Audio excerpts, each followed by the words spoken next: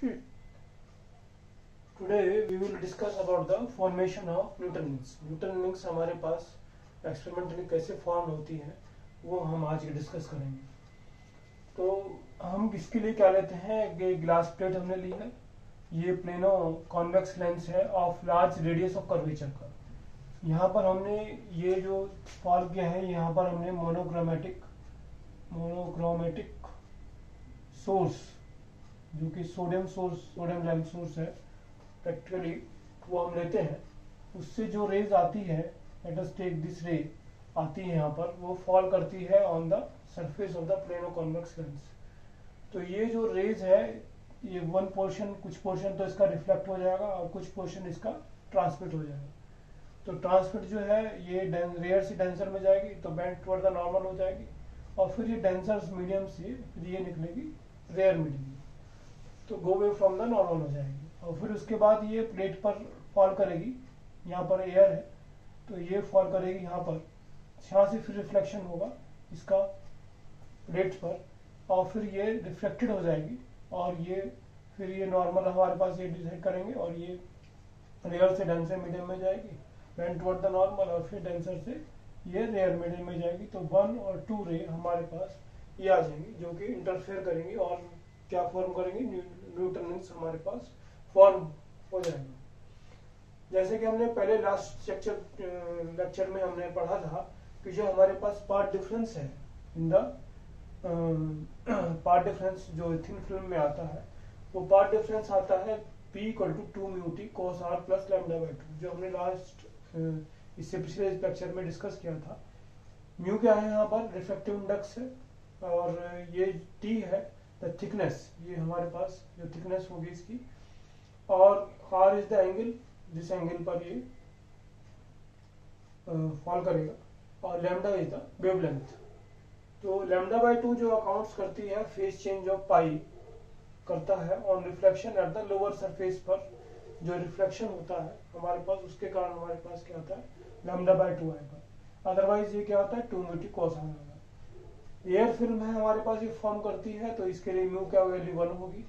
और आर की value for normal incidence अगर नॉर्मल इंसिडेंस हो तो आर की वैल्यू क्या हो जाएगी? ज़ीरो तो आर की वैल्यू ज़ीरो हो जाएगी तो कोस ज़ीरो वन हो जाएगा म्यू की वैल्यू वन हो जाएगी तो टू टी और प्लस लैम्डा बाई टू हमारे पास ये आ जाएगा पार्ट डिफरेंस जब ये अगर ये सेंटर यहाँ पर इस सेंटर पर ये फॉल करे तो यहाँ पर जो टी की वैल्यू है thickness of the air film क्या हो जाएगी ज़ीरो हो जाएगी. और जब ये थिकनेस एट द सेंटर हो जाएगी ज़ीरो तो टी की वैल्यू ज़ीरो पुटअप कर देंगे तो पी की वैल्यू क्या आ जाएगी? Two into zero plus lambda by two यानी कि पी की वैल्यू लैमडा बाई टू हमारे पास आ जाएगी। लैमडा बाई टू कंडीशन किसकी होती है? कंडीशन होती है मिनिमम इंटेंसिटी की। तो it means at the centre यहाँ जो सेंटर पर है, वो क्या बनेगी हमारे पास? मिनिमम इंटेंसिटी की डार्क फ्रिंज बनेगी।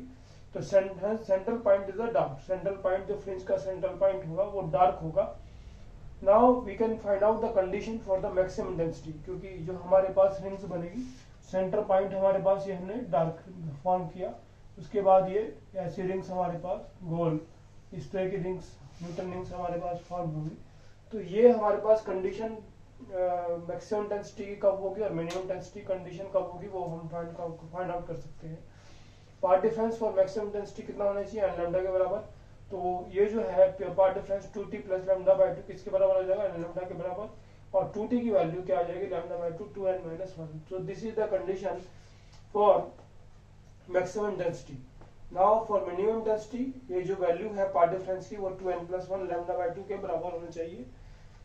तो two t plus lambda by two जो है two n plus one lambda by two के बराबर हो जाएगा। और टू टी की जो वैल्यू है, इसे कैलकुलेट करने के बाद एन लैम्डा की वैल्यू हो जाएगी। तो this is the condition for minimum intensity. Now we have to find out the uh, diameter of the rings. ये diameter है इसका ring का। ये हमें find out करना है। तो diameter कैसे find out करेंगे? हमने ये लिया है ये हमारे पास ए बी इज़ द ये क्या है हमारे पास? ग्लास प्लेट है। This is the glass plate ये हमारे पास प्लेनो कॉन्वेक्स लेंस है ऑफ़ लार्जर रेडियस इसको हम सर्किल को हम पूरा कर लें तो ये हमारे पास ऐसे आ जाएगा।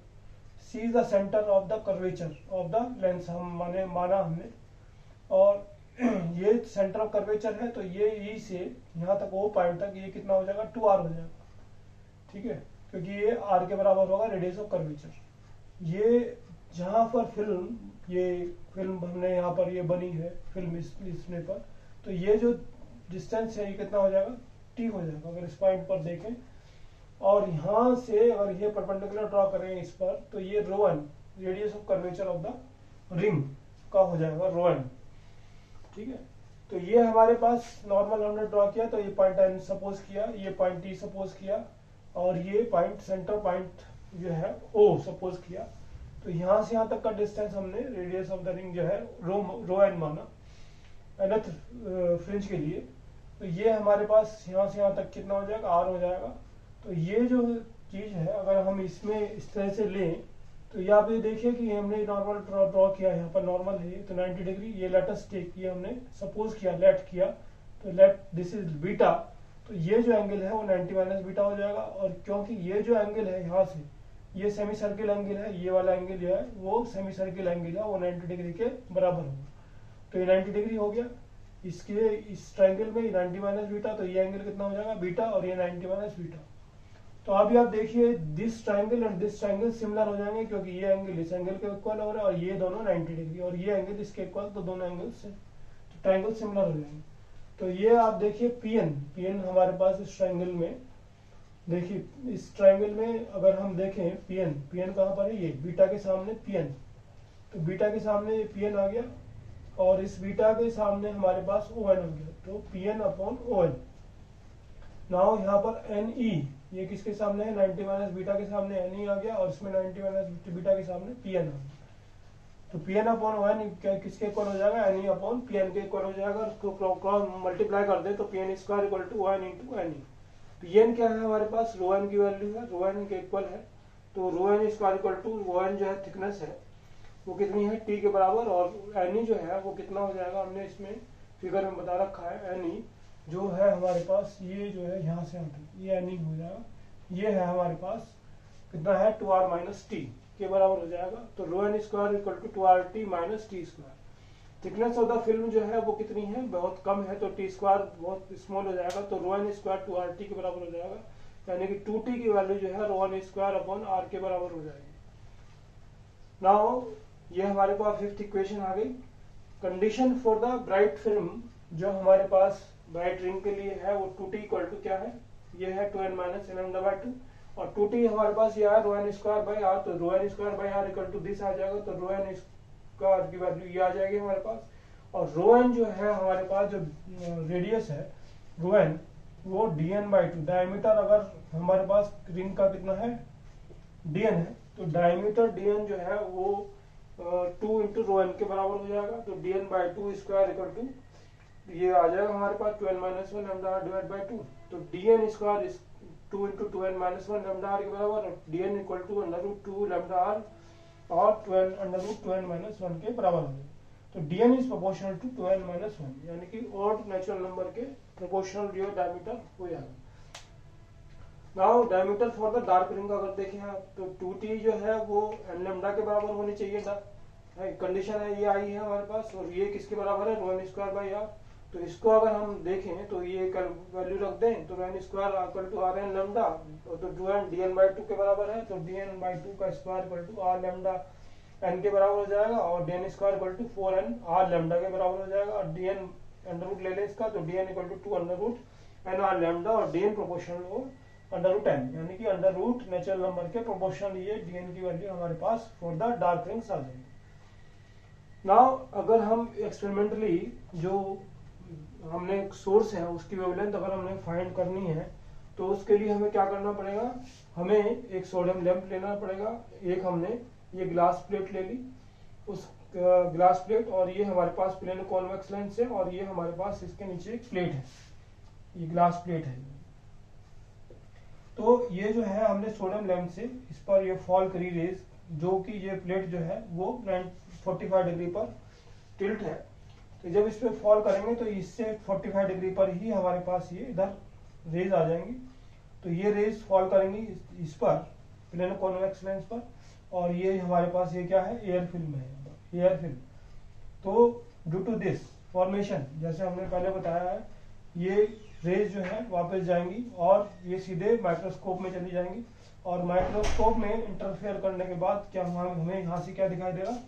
फ्रेंजेस दिखाई देंगे, जिसमें सेंट्रल जो स्पोर्ट है, वो डार्क होगा। तो अगर हम ये सपो इसमें देखें कि हमारे पास जो वन टू थ्री है ना, ये रिंग जो बनी है, हमने डार्क रिंग है, पहली डार्क रिंग है, फिर टू थ्री फोर फाइव ऐसे रिंग्स आ जाएँगे हमारे पास वन टू थ्री फोर करके।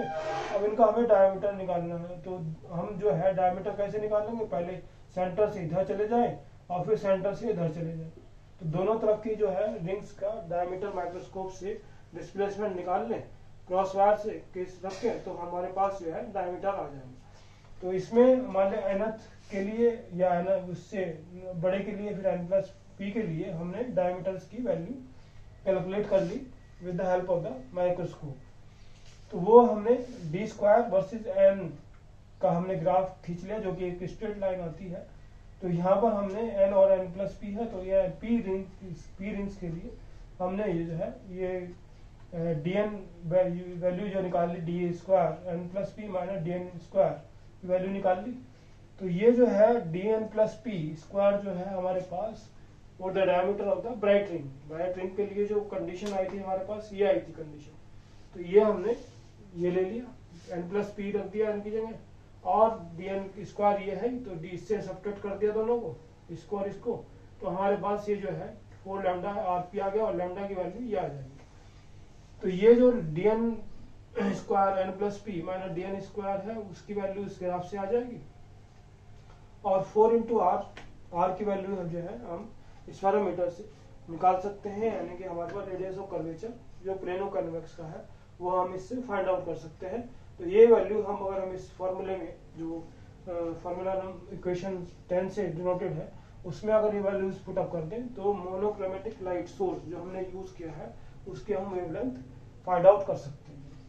नेक्स्ट लेक्चर में हम रिफ्रेक्टिव इंडेक्स कैसे निकालेंगे? अगर हम कोई फ़िल्म मतलब जो है इसमें लिक्विड रख दें दोनों के बीच में एयर की जगह तो उसका रिफ्लेक्टिव इंडेक्स कैसे फाइंड आउट करेंगे that will discuss in the next chapter next lecture thank you.